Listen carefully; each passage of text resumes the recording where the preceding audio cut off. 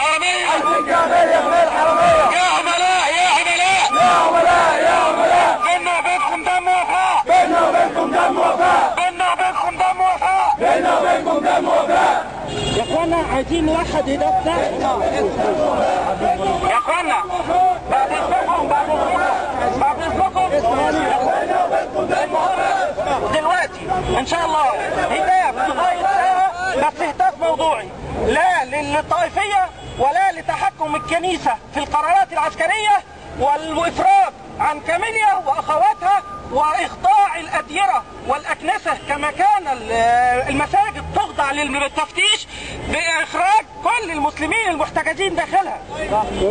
وهناك من هنا لغاية ساعة هتاف موحد لكن رجاء بدون شتم في رموز النصارى وبدون التعريض بشنوده مطالبنا مطالب لو لا اله الا الله لا اله الا الله لا اله الا الله هنعمل بعد كده بعد كده هنعمل اعتصام اعتصام مفتوح قدام مجلس الوزراء اللي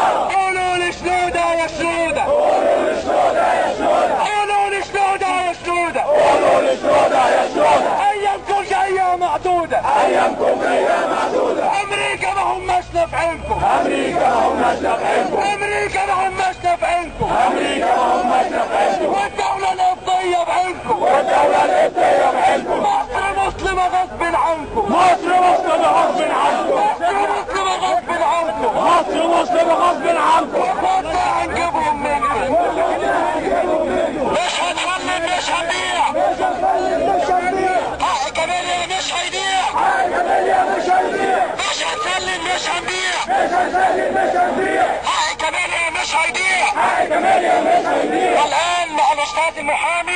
المترافع عن الأستاذة كماليا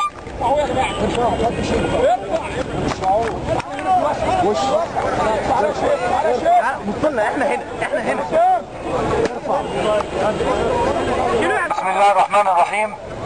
الإخوة الكرام يعني أنا اسمن جهود هذا الشباب الطيب. تعلموا تعلموا جميعا تعلموا جميعا أننا رفعنا هذه القضية لوجه الله تعالى. لا نرجو إلا ثواب الله عز وجل وحرمة المسلمين. إخواننا الكرام أنا أقول كلام لعله لا يروق لبعض الشباب المتحمس. كويس؟ ولكني لا أتكلم إلا بما يرضي ضميري وما يرضي الله عز وجل. ولا ابه لأن يعني يرحب بيا أو أن الناس تختلف معي. وأنا لا أنا أنصح فقط ولا يعني ليس لي سلطان على أحد منكم. اخواننا الكرام نحن توفر لدينا بعد فتح بعد فتح مكتب مباحث أمن الدولة في مدينة نصر. توفرت مستندات جديدة. تثبت إسلام كاملي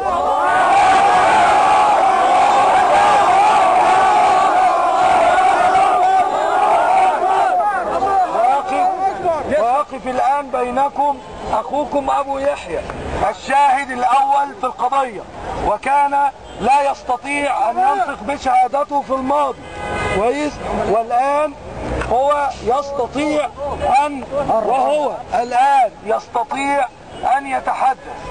إخواننا الكرام أنا الآن وعلى عكس كل الناس وما تتوقعه مني أنا أدعو إلى التهدئة. القانون معنا الآن حتى بدون مجلس الدولة. نستطيع أن نتقدم ببلاغ للنائب العام. يا اخوانا نحن في ميدان التحرير استوعبنا الآن الأزمة الطائفية. ووقفنا وقفة صادقة. ووعدنا الناس أننا لن ننظر إلى دين أحد. هذا ما وعدنا به الناس. ووعدتم أنتم. ومنكم كثير أعلمهم كانوا يقفوا في ميدان التحرير.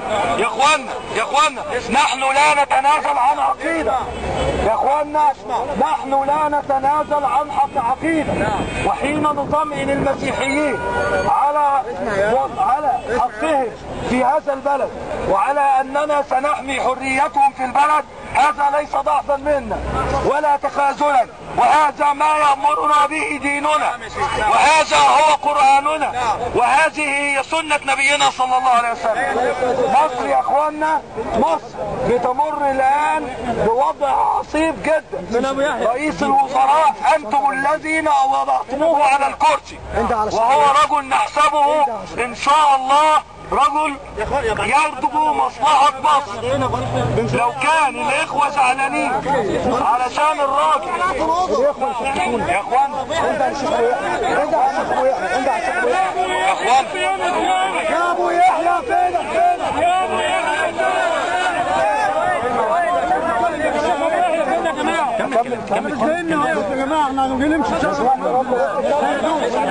إحنا نمشي بعد إذنك. دلوقتي من شوية المحامي قال لنا اخواننا خمس دقايق ورئيس الوزراء حقق كل كلام المسيحيين عبد المسبير في ساعتين صح صح ولا مش صح؟ دلوقتي ما حدش كلمنا في حاجة. يا أخوانا يا أخوانا ثواني أنا ليس لي سلطان على أحد اللي عاوز يروح يروح أنا بنقل وجهه نظري وكثير منكم يعرف أنا مين؟ أنا الحمد لله إحنا لا نخاف الله لومة لائم ال- ال- ال- الكلبش اهوت في يوم آه، خمسة في, في, في يوم الخميس اللي بعد موقعة الباب. يعني أنا أنا معروف يعني الحمد لله. ما حدش اداني فلوس عشان أرفع قضية كاميليا ضد رئيس الجمهورية في عنفوانه. لكن يا اخوانا أنا بقول لكم الراجل دلوقتي وهو في أول خطاب لو تفتكروا رئيس الوزراء في أول خطاب قال إيه؟ قال أنا أتمنى أن يأتي الوقت على مصر إن الرأي الحر يكون في الشارع وليس في السجون. الرجل يسعى إلى تحقيق ذلك. البلد في أزمة كبيرة جدا فلول الحزب الوطني وفلول أمن الدولة وغيرهم ممن يتربص بهذا البلد يريد أن يستغل الوضع القائم ليحدث مصيبة. بالنسبة لوزير رئيس الوزراء والتصرف اللي الراجل عمله سيبك من رئيس الوزراء تعالى للحادثة. كويس الحادثة حادثة زنا بين آه، كلام جميل طب شوف كان أقول لك بس تعالى تعالى طب اسمعني بس يا خالد والله هديك تتكلم امسك كده امسك كده امسك كده تعالى يا اخوانا يا اخوانا إحنا ان شاء الله مطالبنا زي ما حددناها. مش معنى إن إحنا بنسمع بعضينا معنى إن مثلا في حد بيثبت العزائم لكن الأخ بيشرح القضية إن هو المحامي وكان معاه الشهود جوه. فلازم نحترم بعضنا ونكون أفضل من أي مظاهرات حصلت قبل كده إن إحنا أكثر التحضر وأكثر العقلاء وأكثر المنتبهين لمصلحة هذا البلد. إحنا إن شاء الله اتفقنا كلنا إن إحنا هتافات واحدة موضوعية في شرح قضيتنا قدام مجلس الدولة وبعديها مسيرة لمجلس الوزراء وفتح اعتصام مفتوح قدامها زي النصارى ما عملوا امبارح وطلبت طلباتهم في ساعتين. إحنا طلباتنا دلوقتي طلباتنا دلوقتي لازم تتنفذ قبل ما نمشي من مكاننا. لأن إحنا لم لسنا الأقلية بل نحن الأكثر. لكن لكن لكن رجاء رجاء. رجاء نوحد فكرنا ونوحد هدفاتنا ونوحد مطالبنا ونظهر كلنا كأننا قلب رجل واحد. الأصل في اللي يتكلم المصلحة العامة. إحنا عايزين الأخوات تخرج مش عايزين نهتف ونمشي على بيوتنا. إحنا عايزين الأخوات تخرج مش عايزين الهتافات دون المصلحة للأخوات الأسيرات. فإن شاء الله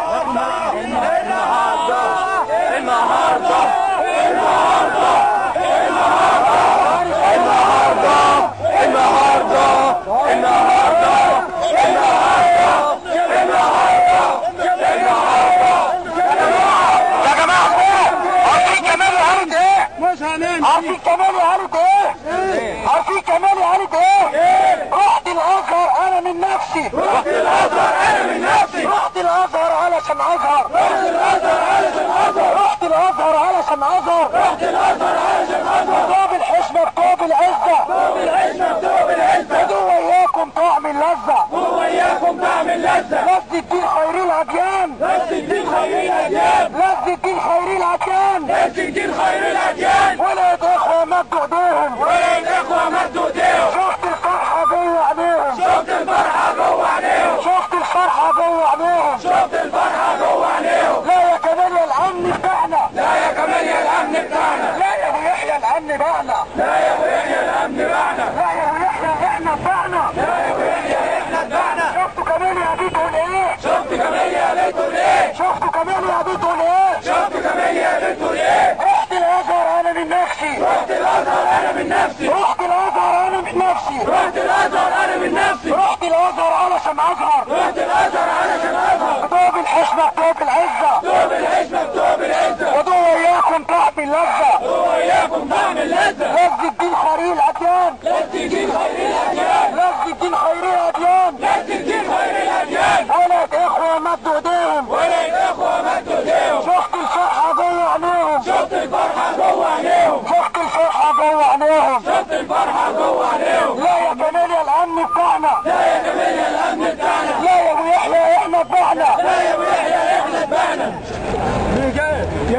دلوقتي دلوقتي كاميليا لازم ترجع. وفاة قسطنطين لازم تعلن. إخواتنا في الاديرة لازم يتفتش عليهم. والمعتقلين عليهم. دلوقتي لما نعتصم. دلوقتي لما نعتصم. الله أكبر. الله أكبر. هتافات الصبح. هتافات الصبح. لكن عايزين نوحد مقصودنا النهارده إخواتنا ما تباتش تحت ظلم النصارى. إخواتنا ما تباتش تحت ظلم النصارى. إخواننا يطلعوا النهارده.